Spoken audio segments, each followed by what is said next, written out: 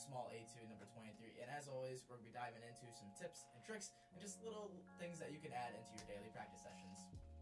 So right from the get-go, in this pickup measure, we have D sharp to F sharp, back down to D sharp. So this second valve flexibility.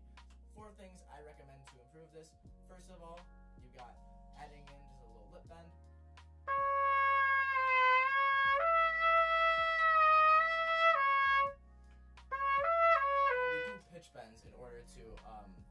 the center of the note. So we're going from center to the center instead of being out of center in each of the notes. Second thing I recommend is just tonguing a lot just to find the center.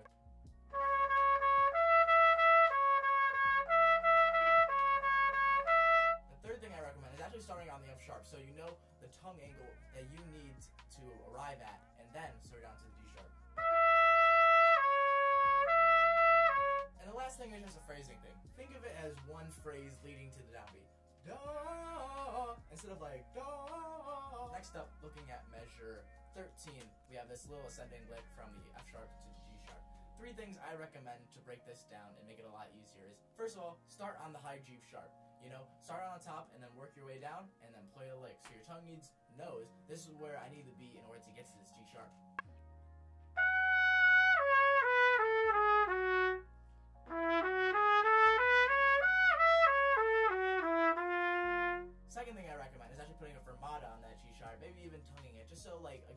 Going back to finding this tongue angle, finding the airspeed.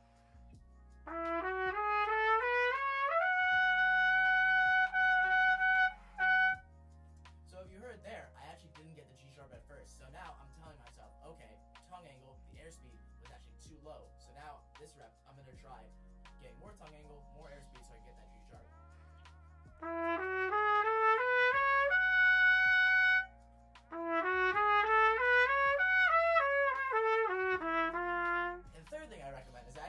Take a paper clip, and as you see, I kind of unwinded the paper clip, and I'm going to be sticking the paper clip in the lead pipe of the mouthpiece, and stick my mouthpiece in. So there's an ever so slight gap, an air gap, that air can leak out, and this really helps us blow right down the center of the horn. All of the air is being used to go through the trumpet.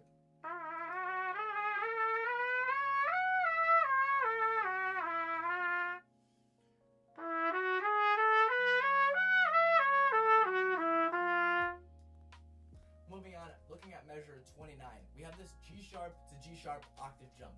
And something I recommend is kind of taking one of the Arban's books and then applying it to this exercise. So we're working our way up in steps. Moving on to measure 45, a way that I practice this arpeggio is actually singing it. Because the more that we can hear it, the more that we develop our aural sense of the etude, the more that we can buzz it. And if we can buzz it, we can play it no problem. So the way I recommend singing this is Ti, ti, re, fa, la, mi, ti, re, do. If you're not adept with solfege, try getting into it. If not, you can just sit next to a piano and uh, work out the notes there. But as long as you can sing it without the horn, without a piano, you should be in good shape for this one. And then after singing it, I recommend just learning it.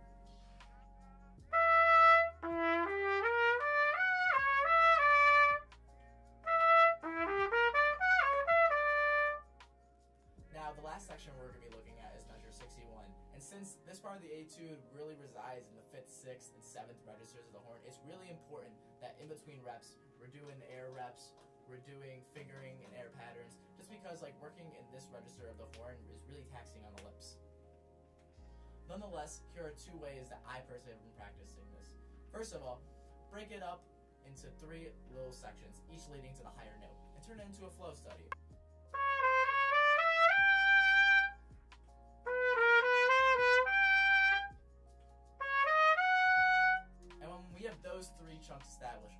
On to the second way I like to practice is changing up the rhythm.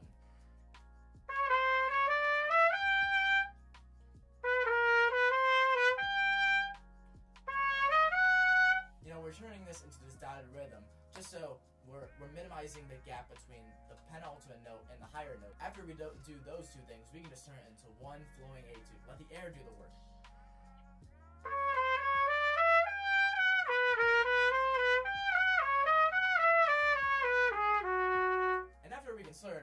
Know, we can we can throw in the tongue because once when the air leads the way, the tongue is just like like a garden hose. You're just tapping the tongue ever so slightly. And that's all I got for this etude today. Thank you so much for watching this video. please feel free like, comment, and subscribe. And I'll see you all in the next video. Take care.